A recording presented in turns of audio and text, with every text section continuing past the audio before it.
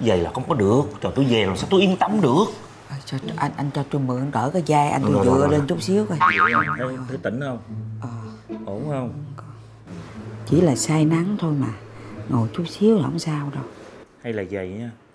Tôi đưa bà lên phòng nghe. Trời ơi Người lớn giờ táo bạo dữ ta. Rồi đưa lên phòng nữa không cảm ơn anh. Ờ nãy giờ nhờ cái vai anh dựa tôi đỡ chút xíu. Say nắng không sao đâu Hoàng ơi Hoàng, sao tự nhiên con biểu má mặc đồ đẹp chi vậy? Đón ai hay sao vậy? Con biểu má, má phải mặc chứ má không mặc má xuống má hỏi gì nữa. Tôi nói là phải nói cho tôi nghe Cái lý do vì sao mà bắt tôi mặc đồ đẹp? Nói lý do đàng hoàng tôi mới mặc. Tự nhiên biểu tôi mặc không biết lý do Mà hỏi thì không chịu nói. Ủa con có khách hả? Má chuẩn bị đón một vị khách quý.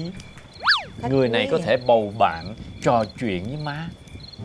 Bầu bạn trò chuyện. Ủa là ai? Nếu mà nói vậy khách quý là tôi phải biết Mà sao tôi trong đầu tôi chưa hình dung ra người đó là ai? Chưa chạy được cái hình ảnh đó đúng không? Ừ. Chuẩn bị qua tới rồi. Nghe mùi thơm Mùi Việt kiều lắm Trời ơi, cái lỗ mũi thính dữ ha. Đó, thấy chưa? Mình ngồi dưới gió ta đi đầu gió mà má. Người ta nói là hò ơ, Bầu ơi thương lấy bi cùng. Tuy rằng khác giống Nhưng chung một nhà. Trời ơi Bữa nay làm gì mặc đồ lịch sự với gì ông? Chuyện mẹ chồng nàng dâu có